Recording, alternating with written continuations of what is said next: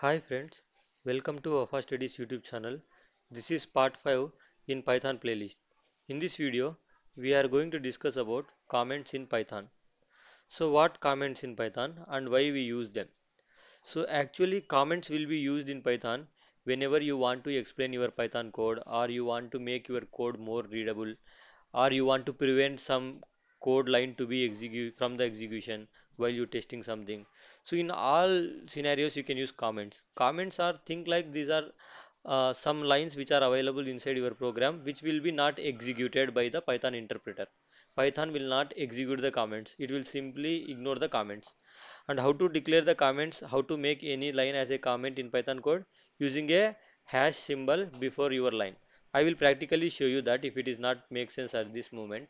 Let me navigate to visual studio code so this is the visual studio code which i will use for python development. So let me click this open folder here uh, to open our folder. So if you have followed my previous videos this python demo folder we are using for our development. Inside this folder we are keeping all our python files. Let me select this python demo folder. So once you select the python demo folder it is going to open python demo folder here inside this explorer and also you can see there are already two python files. So let me close this welcome tab here. Let me create a new file here. So let me name it like comments.py that means comments python file. Because we are going to use this file for, for this comments related demo. So now uh, let's assume I have a program like this. A equals to 5 b equals to 4 and then I want to print the sum of a, b, a plus b. So a plus b. So what this code will do is actually when you run it is going to print 9 why? Because a, a is equals to 5 4 equals to 4 b equals to 4 so sum is going to be 9 so that's what it will print. So let me practically run this and show you. So i'm clicking this run button here to execute the code. You can see the output printed as a now 9 here. So now this code is okay. I mean this is a simple program. By seeing this program you can easily understand what is happening. But in real time you will be writing lot of code. You will be writing so much of complex logic in your code. So you may feel a need of having a comment there so that when a new person visits your code or you by your own you visits your code after a long time that will give you hint like what you are trying to do that. So so to add such kind of hints or to add such kind of documentation you can use comments. I will show you that now if it is not make sense here. So let me add a comment here saying like uh, i want to assign here what i'm doing assigning assign value 5 into a variable. Okay that's what here i am doing. So this line right now is not a commented line. Why? Because there is no no pound pound symbol available here at the beginning of this line. So if you want to comment it you should use this pound symbol or hash symbol before your line. The moment you do that if you observe the color changed into green that means it's a commented line. Your python interpreter will simply ignore this line from execution. Okay. So there is a shortcut also available for you to create a comment. So let me do this. So let me write another comment here like assign value 4 into b variable. Okay. So i want to comment this. So if you on your keyboard if you select control k c that is going to mark that line as a comment. Okay. So control k c is a keyboard shortcut uh, to to get a comment on the line. If you remove if you want to remove comment from this line then simply select control k u. So that is going to remove comment. So control k c will get the comment. Okay. So then let me add another comment here. Like here perform sum and print result. Okay. So if you observe this code i have added three lines of comments here. And these comments are helping me to understand my code. So these are like a documentation. So they will make your code more readable. Okay? So all these lines of comments whatever you are seeing here these are like single line comments. This is one line comment this is one line comment. You can you can create a inline comment also. That means instead of writing this comment here above the line you can use it here also. Let me do this.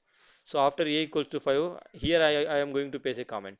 Okay? So these are like inline comments you can use comments inline also okay like how I am doing right now. So a equals to 5 then comment. B equals to 4 then comment. So like that you can add a inline comments as well okay. Uh, and there is another type like multi-line comments. What is the meaning of multi-line comment means? Uh, more than one line if you want to write as a documentation and you want to make all those lines as a comment then that that area we will call it like multi-line comment. For example this is a sample program. This program explains explains comments. Okay? So two lines of the code I have here and I want to make sure these two lines should be as a comment. So is there any direct way to get the multi-line comment in Python? Actually no. What you should do now you should add a this pound symbol here for each and every line. So like that you can get a multi-line comment or another one another way is you can use uh, doc string lit literals so when I say doc string literals nothing but a string think like a string uh, which will be not assigned to any variable. So you need to use three quotes here, three double quotes, then end three double quotes here. So this will become a string, doc string, which is actually not assigned to any variable. So the moment you don't assign any string to any variable, that means your Python interpreter will read this string, but it is not going, it is, it is going to ignore it. It is not going to make use of this string anywhere.